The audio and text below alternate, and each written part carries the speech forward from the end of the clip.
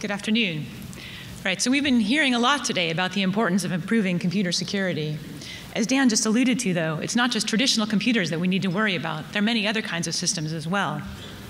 The slide that's been omitted uh, showed a result of uh, the researchers at UCSD and the University of Washington hacking into the dashboard display of a typical American sedan, making it show that the car was going 140 miles an hour while in park. Drilling down a little bit, modern vehicles consist of between 30 and 100 embedded control units, which are essentially small computers connected via a CAN bus. These cars are required by law to have a diagnostic port, typically located under the steering wheel, that allows mechanics to download diagnostic information and to perform software updates. In a first paper, the researchers from UCSD and the University of Washington showed that if they could touch the CAN bus through that diagnostic port, they could take over all of the functionality of the car that's controlled by software. And in a modern automobile, that's pretty much everything. The brakes are controlled by software because of anti-lock braking. The acceleration is controlled by software because of cruise control. And in those fancy new cars that can park themselves, even the steering is under software control. The reaction to this first paper was somewhat muted, perhaps because of the researchers had access to that diagnostic port. They were inside the car, and so already had physical access to the brakes, acceleration, and steering. They responded with a second paper in which they showed a variety of ways of touching that CAN bus without physically touching the car. These attacks involved infecting uh, the computers in the repair shop and then having that infection spread to the car through the diagnostic port, or hacking in through the Bluetooth system, or using the cell phone network to break in through the telematics unit that's normally used to provide roadside assistance. The most ingenious attack, though, used the stereo system in the car the researchers were able to craft an electronic version of a song that played just fine in your home stereo system or on your personal computer.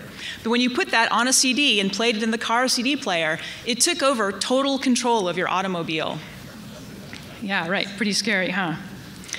These vulnerabilities arise because the cyber components that form the interface of these cars are built from the same kinds of buggy components that are in your personal computers. And the control systems that are actually running the car have no notion that there can be an attacker sitting on the CAN bus. So commercial automobiles are not the only kind of non-traditional computer that are vulnerable to attack. We have to worry about all these other kinds of systems as well. Everything from SCADA systems that control things like the power grid and canal systems, to medical devices like the insulin pump shown on the slide, to computer peripherals, communication devices, and various kinds of vehicles. Researchers and or attackers have shown that systems in each of these categories are vulnerable to attack. For example, for SCADA systems, the attacks on the Maroochy Shire sewage plant in Australia, say that 10 times fast, and the Gignac Canal system in France show that even supposedly air gap systems are vulnerable to remote attack, and that those attacks can cause physical damage while hiding evidence of the attack from local monitoring. As for medical devices, Jerome Radcliffe showed at this year's Black Hat that he could wirelessly hack into his insulin pump and cause it to deliver incorrect dosages of the medicine. Hacked thumb drives are a notorious way of spreading infections across air gaps, while compromised routers have exfiltrated information. As for communication devices, the Droid Dream malware in the Android store shows the vulnerability of smartphones. As for vehicles, we've already talked about commercial automobiles. In addition, in October, various media sources reported that the ground control systems supporting the Reaper and the Predator drones were suffering for computer viruses. Many of these systems share a common structure. They have an insecure cyber perimeter constructed from standard software components surrounding control systems designed for safety, but not for security. So, how are we going to make these systems more secure? Right. Well, the state of the art on the traditional computer side is to add anti antivirus scanning, intrusion detection systems, and a patching infrastructure.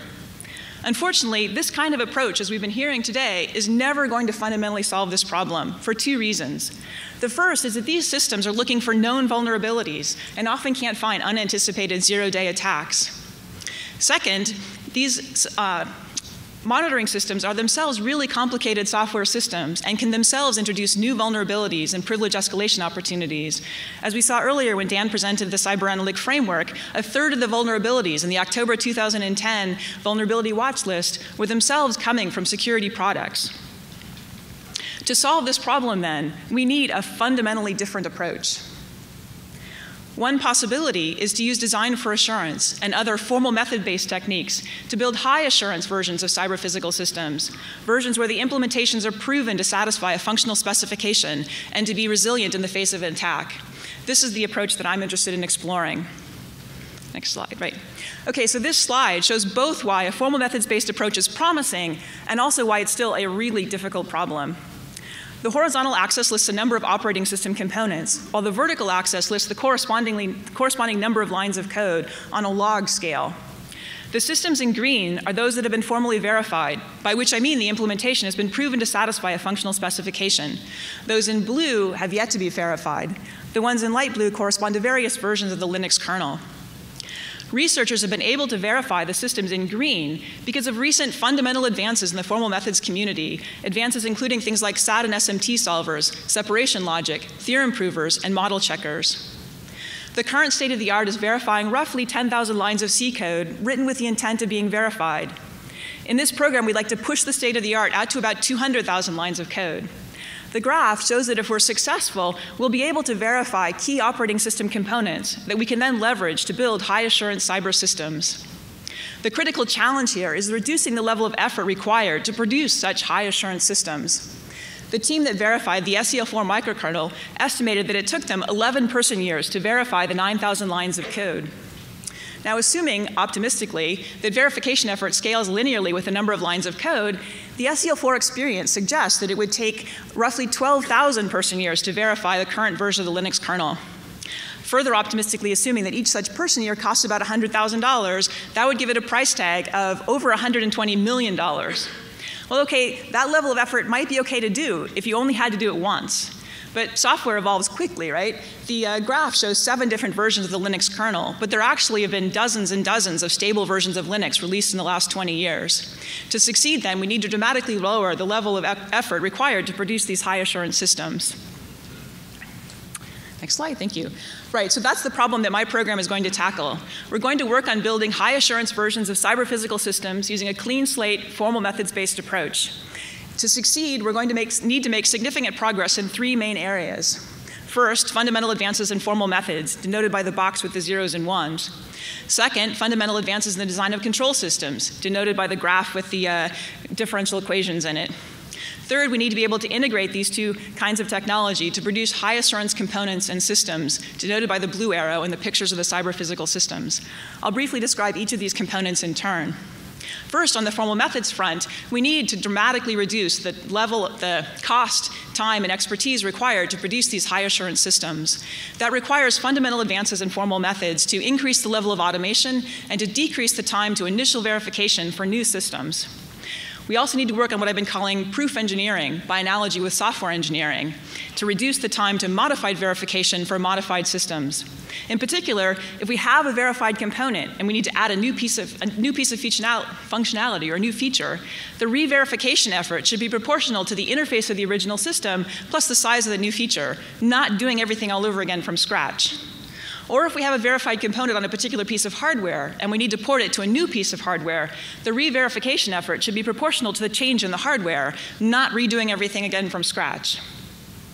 Moving on to the control system side, we need to develop techniques for designing control systems that are resilient in the face of attack. This might involve leveraging the laws of physics as a ground truth to determine when the system is under attack. Then we need to develop graceful ways of responding to such attacks. You probably can't just reboot your car as it's speeding down the highway.